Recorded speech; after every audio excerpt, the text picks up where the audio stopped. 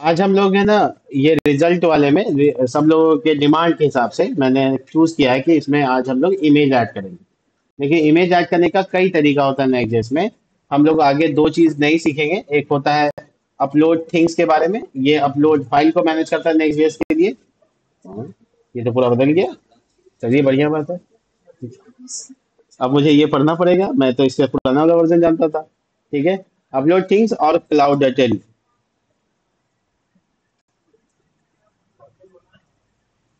ये क्लाउडेटरी और upload things ये दो चीज़ों का इस्तेमाल कर सकते हैं हम लोग। अपने डेटा को स्टोर करने के लिए क्लाउड पे। लेकिन अगर आपको लोकल स्टोर करना है तो अभी हम सिखाते हैं, ठीक है? इंसर्ट फॉर्म के केस में हम लोगों को फॉर्म में इमेज अपलोडिंग बताना है। तो सबसे पहले तो हम लोग अपना मॉडल मॉडिफाई करेंगे। क्योंकि मॉडल में ऐसा कोई कॉलम नहीं जहाँ इमेज स्टोर होगा।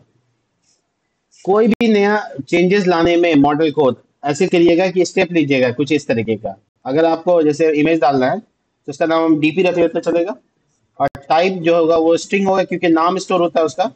और चूँकि रिक्वायर्ड है, इसलिए रिक्वायर्ड ट्रू लगा देते हैं। नहीं, छोड़ो रिक्वायर्ड डिफ़ॉल्ट नल या नलेबल ट्रू कर सकते हैं। डिफ़ॉल्ट नल कर सकते हैं। कि अगर नहीं है तो नल हो जाए। तो ये पॉसिबल है, बस ऐसे छोड़ देंगे तो भी डिफ़ॉल्ट नलेबल हो सकता है, ठीक है? अब क्या है कि आपका मॉडल बन चुका है। तो जब बन चुका है तो यही काम करेगा, ये नया को क्रिएट नहीं करेगा, क्योंकि यहाँ ऑपरेटर ऐसा लगा हुआ है। तो आपको क्या करना पड़ेगा, एक बार कम से कम इसको डिलीट मारना पड़ेगा। तो डिलीट कीवर्ड लगाइएगा, जो कि Mongoose dot models dot models को अपना डिलीट मार दीजिएगा। कैसे डिलीट मारना है? तो ये लाइन देख लीजिए आप। आपका पुराना स्कीमा डिलीट होना चाहिए और नया स्कीमा ऐड होना चाहिए। इससे आपका Mongo DB data data delete नहीं होगा। सिर्फ़ मंगूस का स्कीमा जो कि एक लॉजिकल आर्किटेक्चर है, उसके ऊपर चेंजेस आएगा। लॉजिकल इंडिपेंडेंसी जब हम लोग पढ़ते हैं, ज़्यादातर कोर्ट्स रूल को 15 कोर्ट्स रूल्स ऑफ़ आरडीवीएमएस पढ़ते हैं तो उसमें एक आता है लॉजिकल इंडिपेंडेंसी तो जब हम लोग लॉजिकली चेंज करेंगे तो फ़िज़िकल डेटा को कोई चेंजेस नहीं मिलेगा, या उसके बदलाव नहीं होने वाले। मंगो डीबी में आपको कोई इम्पैक्ट नहीं आएगा, बस आपको अपना मॉडल रीड मार के नया क्रिएट कर देना, और कुछ नहीं करना। तो ये लाइन आप लिख दीजिएगा क्रिएट होने से पहले, ठीक है? और अपना प्रोजेक्ट को, जिस पेज पे भी आप मॉडल कॉल किए, बस एक बार रिफ्रेश कर दीजिए एक बार रिफ्रेश कर दीजिए ये मत देखिए कि डिलीट हुआ कि नहीं हुआ, हो गया होगा। अब बस इसको कमेंट कर दीजिए। आपका डिलीट का प्रोसेस हो गया। अब जब दोबारा रन करेंगे दोबारा पेज लोड होगा तो ये वाला सेक्शन काम नहीं करेगा। वो वाला सेक्शन काम करेगा, जिससे नया क्रिएट हो जाएगा। तो वो जो डीपी नया का मॉडल है, वो ऐड हो जाएगा। ठीक है? वो स्कीमा में ऐड हो जाएगा। ठीक है? तो अब आप फ्री हैं इसके लिए, लेकिन एक बार क्या करना है, आपको लगाना है पेज को लोड करना है। उस पेज को लोड करना है जिसमें कम से कम मॉडल इंपोर्ट होना चाहिए। तभी तो रन करेगा। रन करेगा तो डिलीट हो जाएगा। और डिलीट होने के बाद वापस को कमेंट कर दीजिए, जिसके बाद वो दोबारा फिर डिलीट ना हो जाए। तो फिर इसके बाद अपना जो नया ऐड किए हैं कॉलम वो आपको उस स्कीमा में मिलेगा। अवेलेबल मिलेगा, ठीक है? तो एक टेक्निक है जिसका इस्तेमाल आप कर सकते हैं। उसके बाद आपको अपने इमेज इंसर्ट सॉरी इंसर्ट के पेज में आना है। और यहाँ फॉर्म में एक तो फ़ोटो डालने के लिए जगह बना लेना है। तो सिंपली क्या करना है? यहाँ पे लेबल में लिख दीजिए। ये तीन जगह चेंज कर देते हैं डीपी ठीक है? इनपुट टाइप क्या हो जाएगा? फ़ाइल सिंपल लेकिन नाम पे बहुत ध्यान रखना ज़रूरी है, इसलिए इसका नाम डीपी रख लेते हैं। तो अब हमारे पास है इसका एक्शन सर्वर एक्शन जहाँ डेटा जाता है। उसके लिए आप पूरे तैयार रहिए कि आपका डेटा गया है अंदर, ठीक है? आपको कहाँ मिलेगा? ये यूटिलिटी में एक्शन और यहाँ पे आपके पास डेटा आया है। आया है तो आपको यहाँ पे यूज़ करना है उसको। कैसे यूज़ करना दिखाते हैं, देखिए। ये सब मत देखिएगा, ये अपने आप जो आ रहा है। ज़रूरी नहीं कि ये सब सही हो। अब आपको क्या करना है? अपना इमेज निकालना है, ठीक है? तो आपको इमेज निकालने के लिए एक वेरिएबल बना लेना है। सबको छोड़ो डेटा को। यहाँ पे एक वेरिएबल बना लीजिए लेट इमेज या डीपी नाम रख सकते थे आप। और यहाँ पे फॉर्म डेटा क्योंकि फॉर्म डेटा में आप एक नया कॉलम जुड़ गया जिसका नाम डीपी है। तो वो आ गया इमेज आपके पास अवेलेबल है। अब इसके बाद आप क्या करेंगे? इस इमेज का बाइट में कन्वर्ट करेंगे। तो नॉर्मली हम एक वेरिएबल बनाएँगे बाइट्स बाइट्स और उसके बाद लिखेंगे यहाँ पर अवेट असिंक्रोनस चलेगा यहाँ पे। और लिखेंगे यहाँ पे डीपी सॉरी इमेज वेरिएबल का नाम, और उसको बाइनरी में कन्वर्ट करने के लिए लिखना होगा एरे बफर एरे बफर ऐसे फ़ंक्शन डालना होगा, ठीक है? एरे बफर तो जो इमेज आ रहा है ना, वो इमेज बाइट में कन्वर्ट होकर इसमें स्टोर हो जाएगा, ठीक है? इसके बाद हमको बाइट में डेटा जो मिल जाएगा तो हमको पाथ डिसाइड करना है। तो पाथ क्या होगा? यानी कहाँ स्टोर होगा? तो आपको एक ज्वाइंट फ़ंक्शन चाहिए। इसका जे स्मॉल नहीं कैपिटल होगा। ध्यान रहे ज्वाइंट फ़ंक्शन इंपोर्ट कहाँ से होगा? तो ऊपर आपको इंपोर्ट कर लेना है ज्वाइंट फ़ंक्शन को। कैसे इंपोर्ट करेंगे? देखिए इंपोर्ट ऐसे हिंट आया था मेरे पास, लेकिन देखिए पाथ से, ठीक है? तो ये बाय डिफ़ॉल्ट इंस्टॉल है आपको पाथ आपको इंस्टॉल करने की ज़रूरत नहीं है। तो ज्वाइन आपको वहाँ से निकाल लेना है। ज्वाइन यहाँ पे दो पाथ को ज्वाइन करने का काम करेगा। मतलब दो स्ट्रिंग को ज्वाइन करेगा एज ए यू पाथ तो हम लोग को बताना है कौन सा फोल्डर में। तो कहा कि मेरा प्रोजेक्ट का जो मेन फोल्डर रूट फोल्डर है, उसमें पब्लिक नाम का फोल्डर है ना? इमेज वही रहेगा। पब्लिक वाले फोल्डर में। पब्लिक ऐप से बाहर जो पब्लिक है, बना हुआ है। उसके बाद मैं यहाँ पे कॉमा लगा दूँगा और बताऊँगा कि फोल्डर क्या बनाना है उसमें। तो हम स्टूडेंट डीपी रख लेते हैं। स्टूडेंट डीपी नाम का फोल्डर बनेगा और स्टूडेंट डीपी नाम का फोल्डर के अंदर में यहाँ पे हम बता देंगे उसका नाम क्या होगा। तो बेसिकली इमेज डॉट नेम ये इमेज डेटा जो आ रहा है फ़ोटो फ़ाइल आ रहा है, उसमें से नाम निकालना है। तो इमेज डॉट नेम ये मेरा पाथ बन गया। अब इस पाथ में उसको राइट करना। राइट मतलब फ़ाइल को अपलोड करना, यानी उसमें कॉपी करा देना। फोल्डर में कॉपी कराना है जिसको हम लोग करते हैं वहाँ पे मूव अपलोडेड फ़ाइल से यहाँ पे करेंगे हम लोग await write file write file ध्यान रखना है आपको कि आपको एफएस के प्रॉमिस से आपको इंपोर्ट करना है। एफ़ यानी फ़ाइल सिस्टम ठीक है? फ़ाइल सिस्टम प्रॉमिस प्रॉमिस लगाएँगे तभी अवेट इस्तेमाल होगा। देखिए ऊपर में। एफ़ एस प्रोमिस तो आपको इसका फ़ाइल का नाम क्या है? फ़ंक्शन का नाम है राइट फ़ाइल आपको इसमें पाथ बताना है और कुछ नहीं। देखिए राइट फ़ाइल छोटी ब्रैकेट और फ़ाइल को राइट करने के लिए आपको यहाँ पे लिखना पड़ेगा पाथ क्या है और वो जो आपका बफर डेटा यानी बाइट जो बफर सॉरी सॉरी सॉरी एक बफर डेटा बनाना पड़ेगा आपको, ये तो मैं छोड़ दिया। तो मैं यहाँ पे करूँगा क्या? लेट बफर बफर डेटा ताकि अपलोड होने में दिक्कत ना हो। ये बफर भी इंपोर्ट होगा। कहाँ से इंपोर्ट करना है ये सुन लीजिए। इसको यूटिलिटी से इंपोर्ट नहीं यूटिलिटी से इंपोर्ट नहीं करना। एक्चुअल में बफर को इंपोर्ट नहीं करना पड़ता, ये आपके पास अवेलेबल होता है पहले से। हाँ ठीक है बफर डॉट और उसके बाद आपको लिखना फ्रॉम कहाँ से? वो बाइट का वेरिएबल तो ये जो बफर वेरिएबल है ना, ये यहाँ पर आपको पास कर देना है राइट चलिए एक मोटे मोटे तौर पे एक बार रिव्यू ले लेते हैं।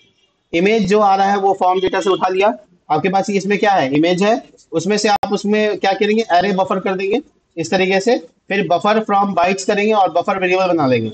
उसके बाद आपको पार्ट डिसाइड करना कहाँ डालना है। कैसमें? पहला बताना है फोल्डर का नाम।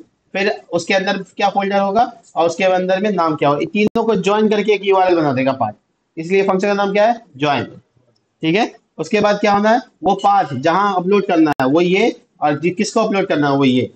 दोनों पास कर देना, ये प्रॉमिस से पास होगा, यानी अवेट लगेगा। हो गया यहाँ पे काम करना। ये जो चार पाँच लाइन लिखा मैंने, ये है इमेज का वर्क मैं सबको ऐसे एंटर करके एक जगह कर देता हूँ। और ऊपर में कमेंट लिख देता हूँ इमेज वर्क ठीक है? अब चूँकि डेटा हम लोग को अपलोड भी करना है तो ध्यान रखना है तो हम यहाँ पे लिखेंगे इमेज सॉरी डीपी कॉलम का नाम डीपी और इमेज डॉट नेम हमको तो डेटा उसमें सिर्फ़ नाम है ना भेजना। तो इमेज डॉट नेम इमेज का नाम चला जाएगा। डीपी में ऐड हो गया और ये क्रिएट कर देगा, नया मॉडल नया डेटा नया और डॉक्यूमेंट अपलोड हो जाएगा और अब हम लोग कॉलिंग के टाइम में इसका इस्तेमाल करेंगे। पहले देख लेते हैं अपलोड होता है कि नहीं। तो आ जाते हैं यहाँ पे फॉर्म देखिए यहाँ पे डीपी नाम का एक सेक्शन आया है बट काफ़ी छोटा है। इसकी वजह ये है कि हम लोगों ने इसमें कॉलम भी डिसाइड कर दिया होगा। देखो, ये जो डीपी है, इसको अलग बाहर सेक्शन में निकाल देंगे, इसके बाहर यहाँ निकाल देंगे तो इससे क्या होगा, ये अपना अलग जगह लेगा। लगा लिया। तो हम लोग यहाँ पे शुरू करते हैं। ये सादिक लिखा, ये यहाँ पे रामू लिखा, और यहाँ पे नहीं पता। यहाँ पे डेटा डाला, और यहाँ पे डीपी तो डीपी के नाम पे हम कोई फ़ोटो डालते हैं। ये, ठीक है? अपलोड करते हैं, नाम देख लो object oriented one dot P create करने की कोशिश करते हैं। हमको या, कह रहा है कि जो फ़ाइल आप बोल रहे हैं, वहाँ तो फ़ाइल बना ही नहीं है। यानी आपका पब्लिक फोल्डर तो है, लेकिन ये नाम नहीं है।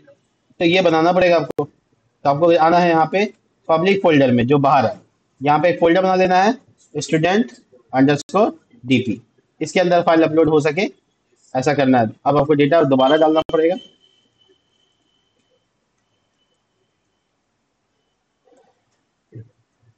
ग्यारह का पहाड़ा में उनको मार्क्स आया चेक कीजिए। अपलोड हुआ यहाँ पे। इंसर्ट हुआ। अपने डेटा में से जाके चेक करो कि उसका पहले देखो फोल्डर में फ़ाइल आया कि नहीं आया। आ गया। इसके बाद आपको ये चेक करो कि मंगो डीबी में नाम गया कि नहीं गया। सब कुछ चेक करो, तब कॉलिंग कर लेना। मंगो डीबी किधर गया तुम? हाँ कंपास नॉर्मली खोलना है आपको।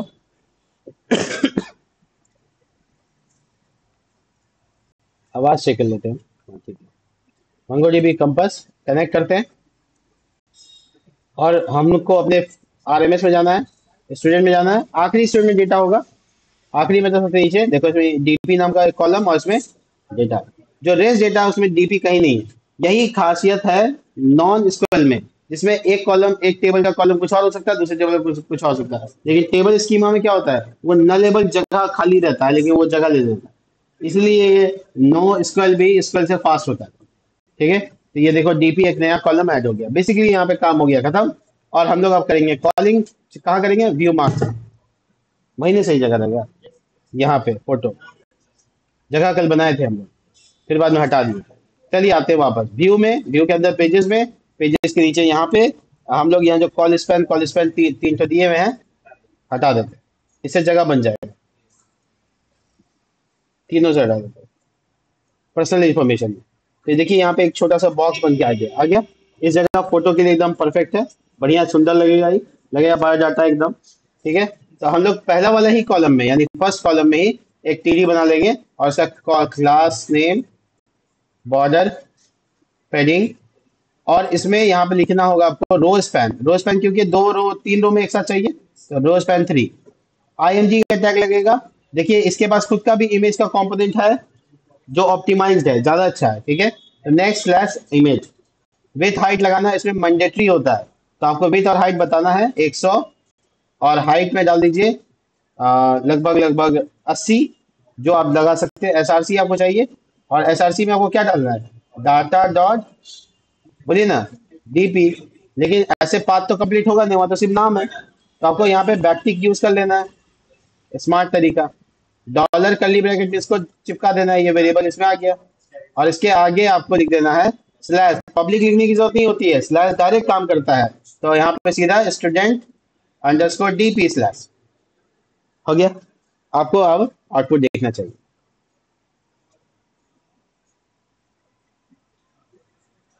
इमेज अपलोडिंग कंप्लीटेड इसका विथ हाइट हम थोड़ा बढ़ाते हैं। खुशी बहुत है हमको इस बात का, इसलिए बढ़ा देते हैं खुशी खुशी में। हो जाए तो कंप्लीट कर लिया हम लोगों ने यहाँ पे वो चीज़। नॉर्मली ये ऐसे है, इसलिए हम इसका हाइट कम दिए हैं। लेकिन इसमें हाइट और तुमको ध्यान रखना चाहिए कि अगर हाइट वेट नहीं डाल दे तब क्या करेंगे? तो उसके बाद स्टाइलिंग कर सकते हैं। विथ स्टाइलिंग में विथ एक कली ब्रैकेट जावास्क्रिप्ट का, एक कली ब्रैकेट उसके रिएक्ट इसका है ऑब्जेक्ट का है, जो कि जेसॉन में ऑब्जेक्ट में ही पास होता है आपका सी एस एस तो यहाँ पे लिख देते हैं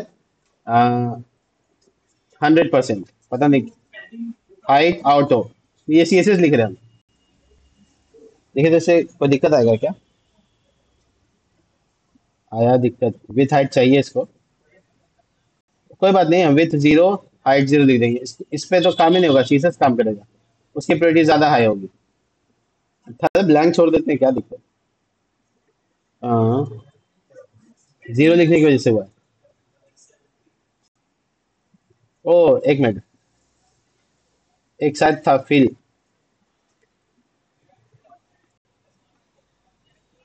याददाश्त थोड़ी कमज़ोर होने लगी आजकल style dot height property both नहीं हो सकता। Fill is always hundred percent अच्छा ऑटो डाल दिया ना। ये हाइट हटा देते अब क्या होता है, देखें।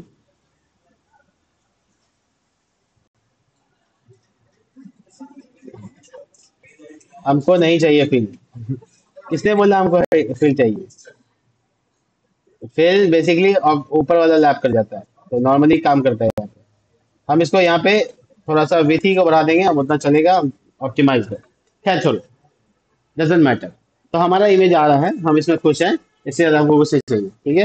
तो बेसिकली यहाँ पर हमारा इमेज कंप्लीट होता है। और जिसमें इमेज नहीं है, वो आपको ऐसा वाला गंदा सा दिखाएगा। तो उसकी जगह पे आप इफ़ एल्स कर सकते हैं। अगर इमेज अवेलेबल नहीं है तो आपको क्या करना चाहिए? आप कंडीशनल रेंडिंग के बारे में अच्छे से जानते हैं रिएक्ट में आपको पढ़ा चुके हैं। और आपको ये कंडीशन में डाल देना चाहिए, ऐसे करके कली ब्रैकेट और लिखना है डाटा डॉट डी अगर है तो ये करो, और नहीं है तो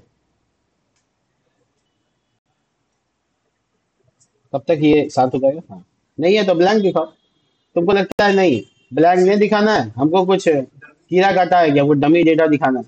डाटा डॉट डी और यहाँ पे लगा दो नॉट जब नहीं है तो ये हम इसे इस्तेमाल करके दिखा सकते हैं। तो यहाँ पे जो इमेज का यूआरएल है, वो तुम डाल दो।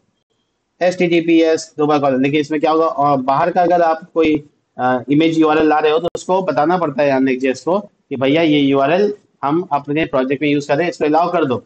परमिशन लेना पड़ता है। बड़ा डिसिप्लिन है इधर। तो यहाँ पे पिक्सम अगर यूज़ कर रहे हो पिक्सम डॉट फ़ोटोज़ स्लैश चार सौ चार सौ नहीं, दो सौ, तीन सौ। हाइट ज़्यादा दे दो। देखो आपको क्या बताएगा। इसके अपने नखरे हैं। ये कंपाइलेशन एरर क्या आ रहा है? और दोनों एक ही कर्ली ब्रैकेट में होंगे। इसको सेपरेट सेपरेट कर। देते ऐसे हम टर्नरी कर दें? ज़्यादा अच्छा ये नहीं तो तुम नहीं तो कोई और सही। ये हो गया काम कर अब कौन सा कर ब्रैकेट सब ठीक है? अपने विश्वास से रखा जाता है। कोड देख के नहीं समझा जाता है देखो क्या बता रहा है। कह रहा है इनवैलिड एसआरसी आप जो यूआरएल यूज़ कर रहे हैं, वो नेक्स्ट जेएस के होस्ट नेम में अलाउड नहीं है। अगर आप इसको कॉन्फ़िग करेंगे, तभी हम एक्सेस करने देंगे। कहाँ? Next dot config dot JS पढ़ना है, कैसे करना है? यहाँ पे एक यूआरएल दिया है, जहाँ जाके पढ़ सकते हैं कैसे करना है। आपको जाना है नेक्स्ट कॉन्फिग डॉट जेएस में। वहाँ जाकर ये डालना बाप रे देखिए, कैसे डालना है। नेक्स्ट कॉन्फिग में आना है यहाँ पे। ये वाला। कली ब्रैकेट ये वाला जगह खाली है। एंटर मारना है। और यहाँ लिखना है इमेजेस उसके बाद कली ब्रैकेट जो जो है वही दिखा रहे तो कली ब्रैकेट उसमें रिमोट पैटर्न रिमोट पैटर्न के अंदर में बड़ी ब्रैकेट क्योंकि एक से ज़्यादा होता है इसलिए। कली ब्रैकेट और उसके बाद उसमें हो प्रोटोकॉल आपका क्या है प्रोटोकॉल एस है तो एस लिखिएगा एस टी होस्ट नेम और होस्ट नेम क्या होता है सुनो, ध्यान से देखो। इस एरर में बताया गया। होस्ट नेम क्या है इसका? पिक सम डॉट फ़ोटोज़ इसी को डालना है, ठीक है? ये डाल दीजिए। जब तक आप ऐसा नहीं करेंगे, आपको अलाउड नहीं होगा बाहर का कोई इमेज इस्तेमाल करना। इतना सा काम आपको करना पड़ेगा, ठीक है? अब आप वापस से रन कीजिए प्रोजेक्ट को, क्योंकि रन बंद हो गया था। और मुझे नहीं लगता है कि आपको एरर आना चाहिए। रिफ्रेश करते हैं। पोर्ट और पाथ बताने की ज़रूरत नहीं है, खाली प्रोटोकॉल और वो। हमको ये देख लेना है खाली कि हम एस यूज़ किए थे। हाँ एक यूज़ किए थे। बस रिलोड होने का वेट करते हैं और काम खत्म। इमेज अपलोडिंग का काम खत्म हुआ है और हमारा पेज देखिए इमेज दिखाएगा। ठीक है? तो ये बाहरी इमेज है। हम लोग बाहर का कोई वेबसाइट को अगर लाते हैं तो उसका होस्ट नेम बताना पड़ेगा कि आप यहाँ से लेकर आए ठीक है? अपने मर्ज़ी से थर्ड पार्टी नहीं यूज़ कर सकते। चलिए, मिलते हैं नेक्स्ट वीडियो में। तब तक के लिए बाय